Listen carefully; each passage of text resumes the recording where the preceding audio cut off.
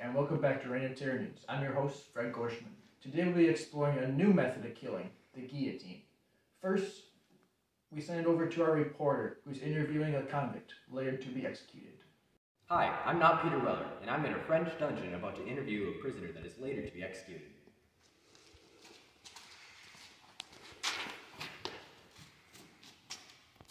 And what's your name? Louis, And why are you being executed? Because you're not loyal to the revolution. When are you being executed? Later tonight sometime. Have you tried pleading your case? No, but I tried to bribe the executioner, sharpen the blade to make it quick. You bribed them? How much money? My life savings. Alright, well thanks for letting me interview you today, and have a wonderful night. Wow, that was something, wasn't it? And that, kids, is the importance of joining the French Revolution. And now I send it over to the executioner himself. Hi, I'm still not Peter Weller, and here with me now is the executioner. How did you get this job? Daily business. Wonderful. Do you like this job? Do you regret doing this job? Do you sympathize for the people that you are executing? Yeah. All right. Well, it was wonderful interviewing you, and have a good night. You've got a long night ahead of you.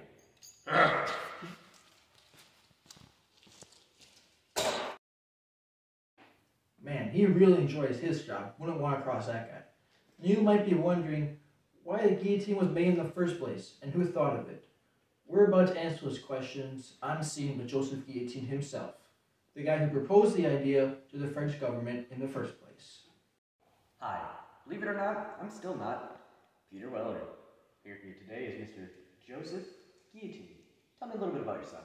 Well, I started as a literature professor at the University of Bordeaux. There, I studied medicine and eventually became a physician. All right. How'd you come up with this wonderful invention?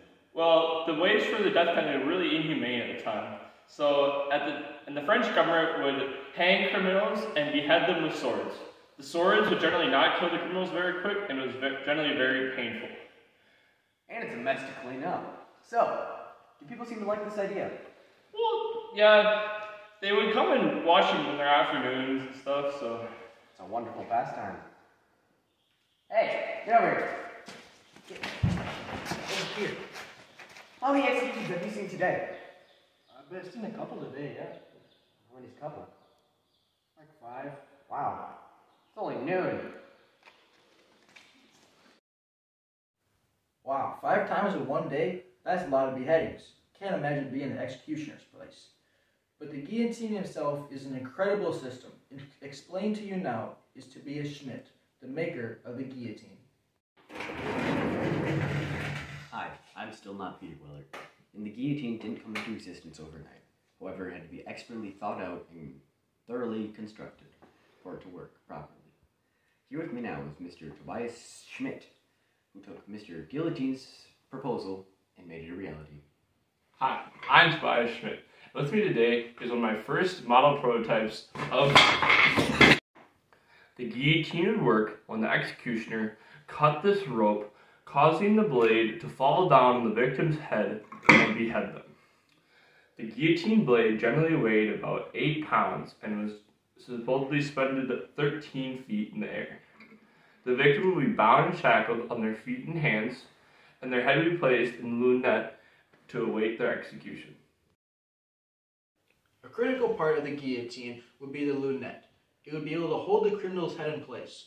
A very necessary piece, otherwise criminals would be able to escape. Imagine your final thoughts as you're being put into shackles, knowing it's the end. Ugh. Anyways, back to the streets of Paris, where Louis is being led away to be executed. Hi, I'm still not Peter Weller. Hey, look, there he is. Here's Louis on his way to his execution. Any last words? I'm innocent. Do you have any last will and testament? Leave everything to my mother. Yeah, my mother. Do you not have a wife and kids? Not anymore. Do you Enough questions. Time for the to die. Wait, come back! Go watch this. Louis claimed to be innocent. Not likely. This looks fun. Can't wait to see how this turns out. To the execution platform we go. Hi, now Peter Weller here, at the execution of Louis himself. I said have a good night, but eh, it's not going very well. We are gathered here together to witness the execution of someone who will not be missed. Louis. He is sentenced to death for crimes against the revolution. He was considered not loyal. So, executioner, I order thee, cut the rope.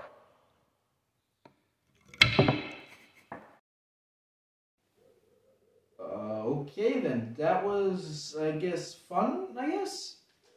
Poor Lou, I hope he wasn't innocent. That would just make me feel terrible.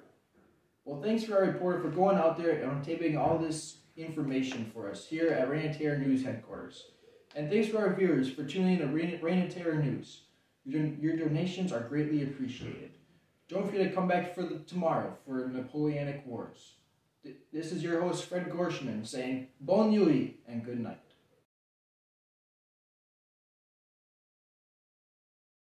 Hi, I'm Jimmy Gorshman, and today we'll be looking at the aftermath of the French Revolution and the Reign of Terror. During the Reign of Terror, at least 300,000 suspects were arrested for being disloyal to the revolution. Of that 300,000, some 17,000 were public, publicly executed, and about 10,000 died in prison without a trial.